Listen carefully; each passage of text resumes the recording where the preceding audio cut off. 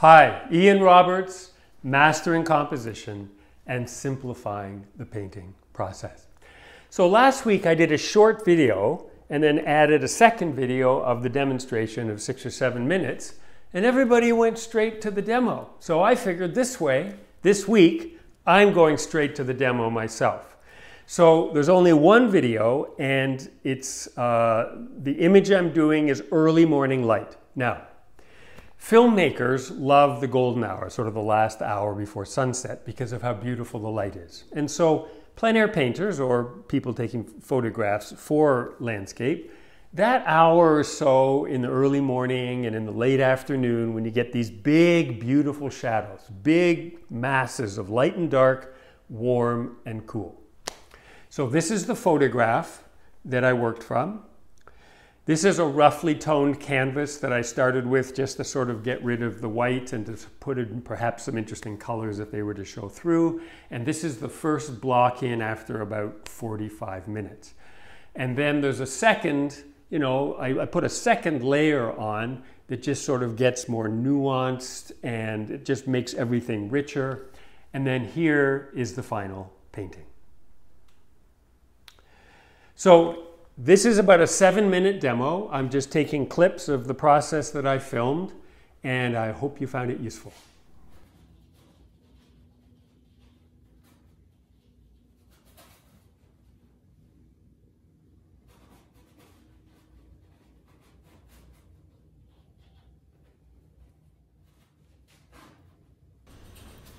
So I'm just block, so I'm just blocking this in very roughly now. Big masses, all the dark shapes first. This is all in shadow, everything I'm painting now.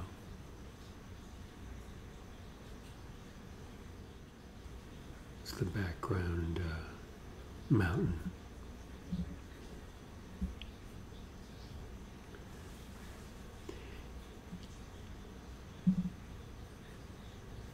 And here I'll just show you roughly how I'm blocking in the gradation of the water.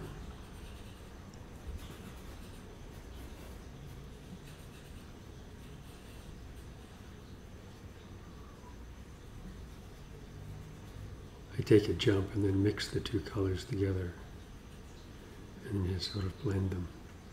But you'll see that this whole block in just gives the idea and then I come back and I do the whole thing again, uh, nuancing the color and adjusting it so that it's kind of deeper and richer.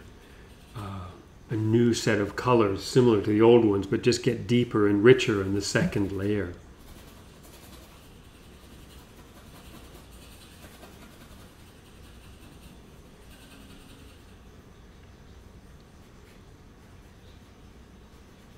But I'm holding the brush very lightly there, you know. I mean, I'm just sort of just feathering the two edges together. And I'm not worrying too much about how perfect it is now because there will be another layer going in on top of this.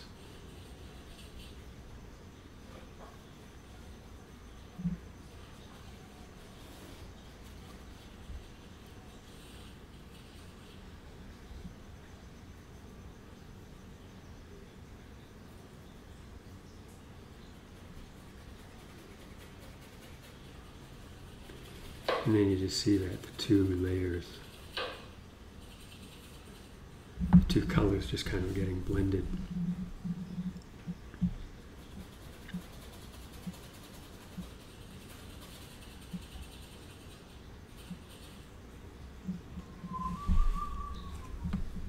And then now I do the same thing up in the sky.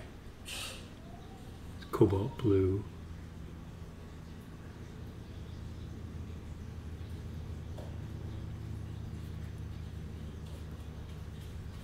But I'm not using any medium. I mean, I'm just getting paint, enough paint on the brush just to fill in the...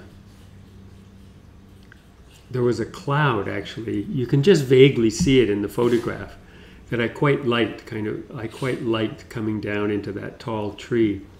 And you can see that I sort of leave a space for it in the sky. And in the end, I figured it was, didn't really work. See, there it is. I'm just leaving the space for it now. Do you see I get a fair amount of paint on there? There's no terps or anything. I'm just pushing paint into the canvas.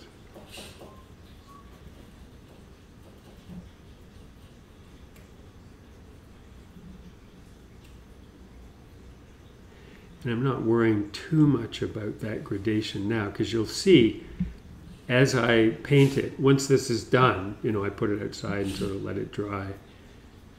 And by the next day, yeah, a good part of it's pretty dry. And you'll see that on the second day, I can just go right into each of these and it just gets uh, more nuanced, richer, and the gradations are smoother. Because, I mean, you could do it on the first time if you wanted to.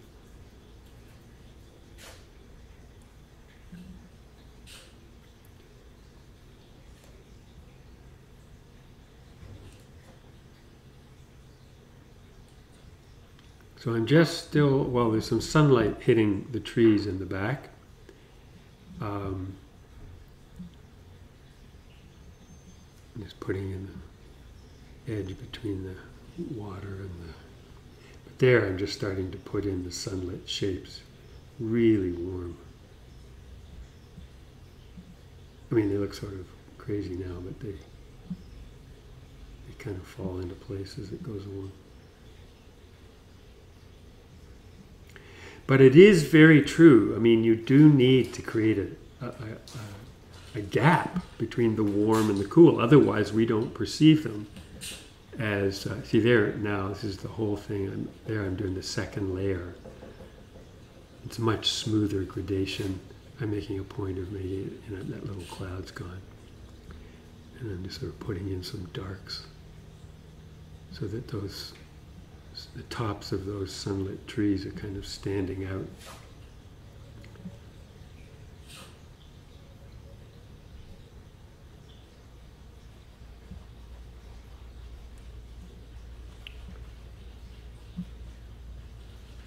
Same thing down here, just gradating, softer gradation.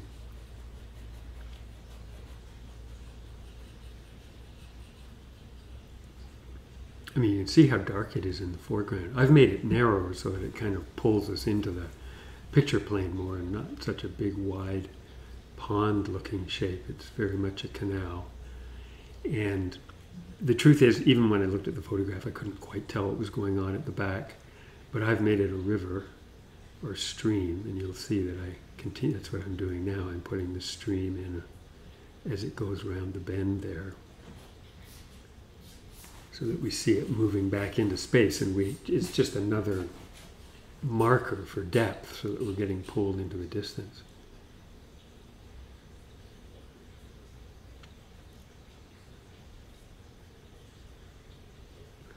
And then this is just just again, putting a shaft of sunlight through the foreground.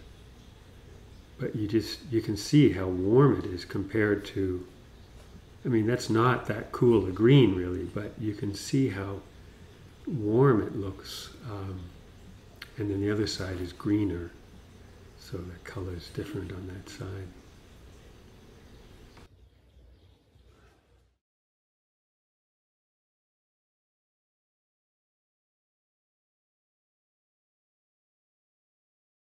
So as always, I hope you found that engaging and helpful.